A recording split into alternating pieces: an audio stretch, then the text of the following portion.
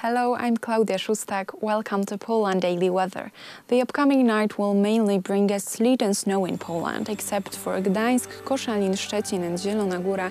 Here we'll see clear skies.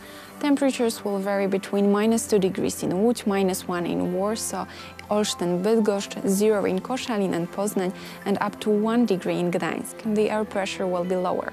Now let's see the weather for tomorrow. And tomorrow a high of 2 degrees we'll expect to see in Poznań, Gdańsk and Szczecin, 1 degree in Koszalin, Wrocław, Katowice, 0 in Warsaw, and the lowest temperature we'll see in Łódź, here only minus 2 degrees.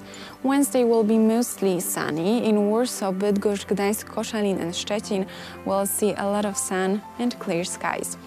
Um, but partly cloudy skies we'll see in eastern and southern regions of Poland.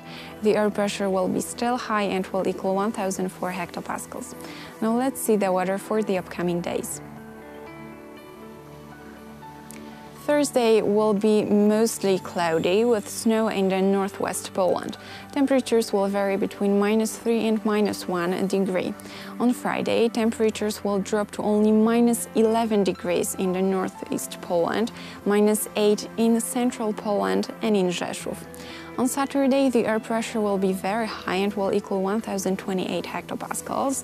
Temperatures will be still low and will range from minus 1 degree in the Poland and minus 10 degrees in the northeast. In central Poland and in eastern regions of Poland, we'll see a lot of sun.